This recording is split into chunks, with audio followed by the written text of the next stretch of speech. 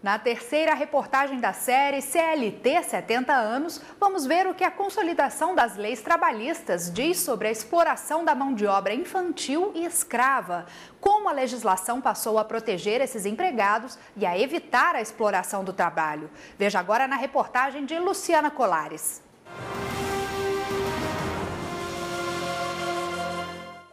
Papéis mais importantes que a consolidação das leis do trabalho cumpriu ao ser editada na década de 40 foi estabelecer o fim da exploração da mão de obra escrava e infantil, com a regulamentação das relações estabelecidas entre o empregador e o trabalhador. A CLT ela surge né, com a promessa que Getúlio nos traz, né, com a Revolução de 30, que, onde ele nos traz, na verdade, toda essa regulamentação. Então, em 1943, ele traz esse coroamento dessas normas trabalhistas e com isso vem essa série de obrigações para com o empregador e esses direitos, que é óbvio, ao longo do tempo vem passando por uma transformação para melhor atender aos anseios da nossa sociedade.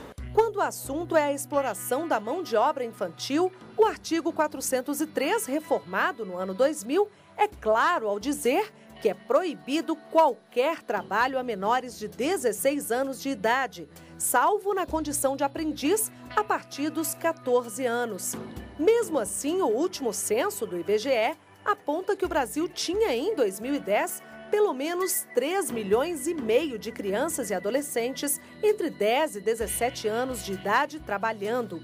Ainda assustador, o número é 13,5% menor que o divulgado pelo Instituto no ano 2000. A mão de obra escrava também é proibida e é crime. Mas assim como o trabalho infantil ainda não foi erradicada no Brasil. De acordo com a Comissão Pastoral da Terra, entidade ligada à Conferência Nacional dos Bispos do Brasil e responsável pelas primeiras denúncias de trabalho escravo no país, a cada ano, pelo menos 25 mil trabalhadores são escravizados aqui. Os números não são precisos, exatamente por se tratar de uma atividade ilegal, criminosa.